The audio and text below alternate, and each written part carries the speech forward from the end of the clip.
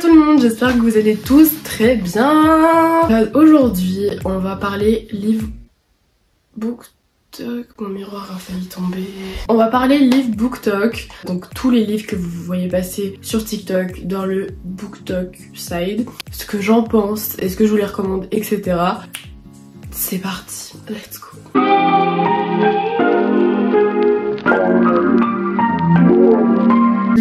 Premier, Les 7 maris d'Evelyn Hugo de Taylor J. Taylor Jenkins Reid, je ne sais pas le prononcer. J'ai mis, je crois, une semaine à le lire, mais ça a rien à voir avec le fait que ce soit un mauvais livre ou un livre... euh, C'était parce que c'était semaine d'examen. Parce que vraiment, sinon, je pense que je l'aurais lu en même pas un deux jours, j'exagère pas. Ah oui, j'ai oublié de préciser aussi, je suis malade, je pense que ça dans ma voix, je m'en excuse. Euh, donc on suit Evelyn Hugo, qui est genre euh, une légende du cinéma, etc. Et euh, bah, comme dans le titre, elle va avoir sept maris à l'aube de ses 80 ans. Maintenant qu'elle a pris sa retraite du cinéma et tout, elle va contacter une journaliste genre random, genre personne la connaît, pour qu'elle écrive son, sa biographie. Elle est en mais pourquoi moi? Et on va comprendre au fait du livre, bah pourquoi tout simplement. Le personnage du coup de la journaliste elle s'appelle Nicole. Moi je l'ai pas trop aimé. C'est pas que je l'ai pas aimé, c'est que euh, elle était pas trop développée quoi. C'était juste histoire de dire. Par contre Evelyn Hugo, elle est incroyable. Euh, je l'adorais, et la détestais dans les choix qu'elle faisait. Mais vraiment c'est un chef-d'œuvre quoi. Je peux que vous le recommander. Ensuite, nous passons à un livre, Ugly Love de Colin Hoover. Quelle perte de temps, quelle perte d'énergie. Je crois que c'est le pire qu'elle ait écrit quoi. Il me c'est Tate et Miles. Et euh, Miles, c'est le voisin de Tate. Et c'est le meilleur pote au frère de Tate. Je crois que c'est ça. Et en gros, ils vont euh, tomber amoureux l'un de l'autre. Sauf que euh, je sais plus lequel des deux veut rien de sérieux et tout. Ou les deux d'ailleurs. Du coup, ils vont avoir une relation de sex friends. Donc du coup, il y aura plein de scènes de cul. Et c'est chiant. Du coup, c'est vraiment leur relation. Parce que sex friends, c'est ça en soi. Franchement, quand il y a que ça comme euh, marque d'affection, bah je trouve pas ça intéressant en soi. Euh, et l'histoire, même le plot twist et tout, je m'en rappelle plus trop. Je sais que je m'étais fait spoiler, et même en soi, si je m'étais pas fait spoiler, je sais pas si je l'aurais plus aimé que ça ou pas. Donc je comprends pas pourquoi tant de waouh, c'est le meilleur livre du monde et tout. Non, vraiment pas du coup. Je pense que je suis pas le seul à dire ça quoi. En plus la couverture française elle est dégueu.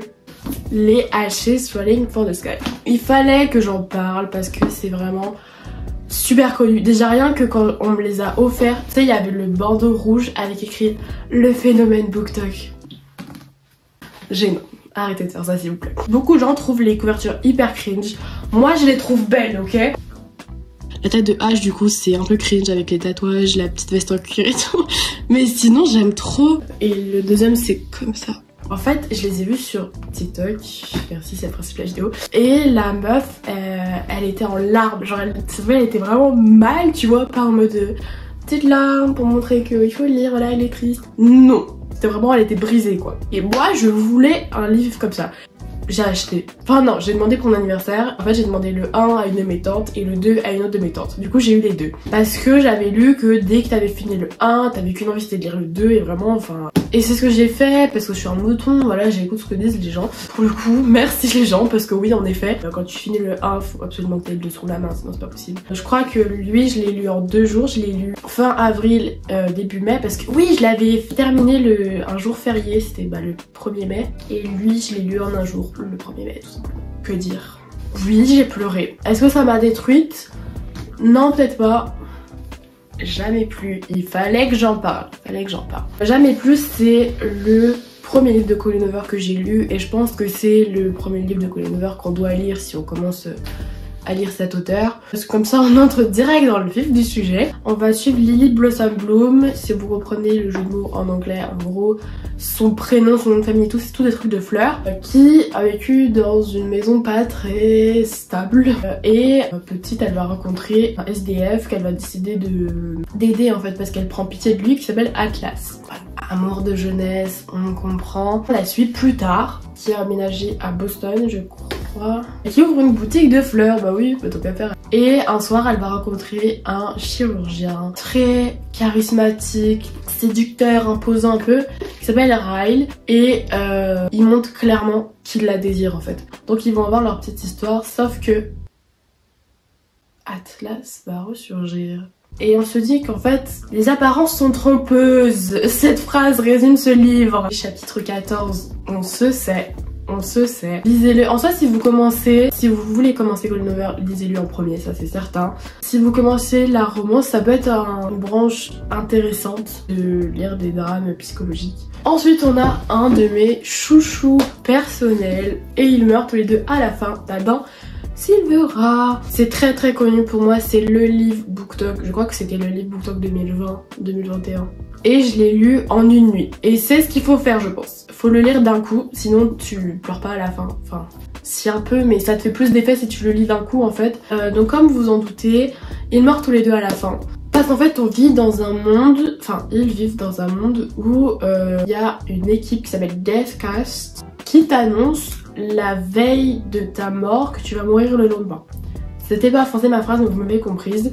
Ah non, le jour même. Et donc on va suivre Mathéo et Rufus qui reçoivent un peu après minuit le 5 septembre euh, l'appel qui leur dit bah écoutez vous allez mourir aujourd'hui. Et ils te disent en gros clairement bah profite de ta journée en fait. et il y a une application qui a été mise en place qui s'appelle euh, Dernière Amie où tu peux rencontrer des gens qui vont mourir le même jour que toi et donc passer la journée avec eux. Euh, et donc c'est ce qu'ils vont faire et c'est comme ça qu'ils vont se rencontrer, Mathéo et Rufus, ils vont passer la journée ensemble et ils meurent à la fin. Et t'es là comment est-ce qu'ils vont mourir? Je vais spoiler et je vous mets le minutage pour pas que vous fassiez spoiler. Enfin les chapitres de chaque livre, donc allez au prochain chapitre si vous voulez pas vous faire spoiler si vous l'avez pas lu. Pour moi, c'est la romance entre les deux. Soit ils auraient dû rester meilleurs amis, ou soit la romance elle aurait dû être un peu mieux construite parce que pour moi, genre c'était vraiment d'un coup, ah je suis amoureux de toi et tout. Genre ils se rendent compte qu'en fait ils sont fou amoureux. Et les pages d'avant, bah ils étaient juste potes, ils tapaient des checks, ta ça. Et du coup t'es là, bah. Mais voilà, je vous le recommande. Et ouais, lisez-le d'un coup, sinon ça vous fera pas d'effet. November 9, évidemment. Encore une fois, je trouvais le concept original. En soi, c'est cute. Euh, ben, il est très drôle. En gros, dans ce livre, normalement, au début, il y avait une scène de VIOL. Non Et euh, bah, le livre, il aurait été vendu comme ça, personne n'aurait rien dit. Et au bout d'un moment, il y a des euh, booktubers, justement, qui se seraient manifestés. Et du coup, elle aurait retiré juste la scène en s'excusant. Et c'est pour ça, quand tu te dis que déjà de base, il y a une scène dans le livre, et tu le lis en le sachant, il y a des trucs qui sont un peu dérangeants. Je n'ai jamais usé euh, de ma force euh, contre une femme, mais là je serais prêt. Euh, je sais plus comment il dit, mais. Et quand tu lis ça, t'es là. Ouh, c'est next ça Maintenant vous le savez, c'est vrai que c'est un peu dérangeant. Ce n'est que mon avis. Vous êtes sur le portable de Sam, de Dustin Tao. Si vous me suivez sur TikTok, vous connaissez mon avis sur ce livre. Euh, donc on suit Sam et... Je crois qu'elle s'appelle Julie. Oui Un couple trop cute ensemble. Tu sais, ils sont jeunes. Ils ont euh, un nouvel appartement pour eux et tout. Ils emménagent. Et malheureusement, Sam va mourir dans un accident de voiture. Quelques jours plus tard, pour se consoler, elle va décider d'appeler le numéro de Sam pendant son répondeur pour entendre sa voix en fait. Sauf que ça décroche. Et à l'autre bout du fil, c'est Sam qui parle. Sam qui est dans un cercueil. Et quand j'ai lu ça, j'étais là, mais attends. Donc je me suis dit, purée, ça va être un banger et tout. Pas du tout. J'ai pas du tout accroché à la plume de Dustin Tao déjà de base. Il y a des personnages que j'ai trouvé inutiles, genre Taylor et Liam. Ils servent à quoi À part juste à dire qu'il y a des protagonistes? Julie, je l'ai pas du tout aimé, j'ai trouvé insupportable. Comme je l'ai dit dans mon TikTok, peut-être que c'est moi qui ai une vision trop naïve du deuil. Mais elle était trop égoïste, c'était insupportable. Elle pensait qu'elle était vraiment la seule à traverser ça. Peut-être que oui, c'était elle qui était la plus proche de Sam. C'est pas une raison. Genre, euh, j'ai l'impression, elle, euh, elle jugeait les proches de Sam qui étaient euh, mal. Elle était en mode non mais c'est moi qui souffle le plus. En mode pick me. Je l'ai trouvé mais insupportable. Je l'ai vraiment pas aimé. Et en plus le fait qu'il n'y ait pas d'explication rationnelle c'est juste normal. Voilà il parle avec sa meuf. Alors que le bug il est mort dans un cercueil à trois pieds sous terre. J'ai pas compris et enfin on a Inheritance Games de Jennifer Barnes est-ce qu'on peut admirer la couverture s'il vous plaît?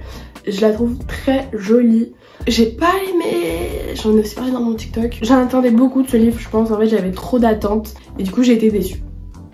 Je me suis pas tellement attachée aux personnages, je les ai trouvés un peu euh, trop à la surface. Les histoires avec les garçons et tout, euh, bof, ça n'a pas été palpitant quoi. Même je me suis un peu perdue dans l'histoire, je vous cache pas. Je sais pas, mais j'étais pas à fond dans l'histoire et du coup l'intrigue, j'ai pas trop tout compris. Euh, pourtant c'est vraiment du young adulte, enfin c'est vendu dans le rayon jeunesse je crois, donc c'est pas très compliqué quoi. J'en avais parlé dans une de mes vidéos et il y avait une abonnée qui m'avait dit que faudrait que je lise la suite en fait. Parce que ça avait été pareil pour elle il me semble. Le 1 elle avait bien aimé mais voilà pas tant que ça. Du coup elle avait voulu continuer et apparemment euh, ça, s'améliore au fil des tomes. C'est pas très intelligent du coup parce que t'as pas envie de lire la suite mais bref. Peut-être que je lirai le 2 donc peut-être que je l'emprunterai ou je sais pas. Pour lire la suite. Mais euh, pour l'instant non. Mais vraiment je me suis pas attachée au personnage comme j'ai dit.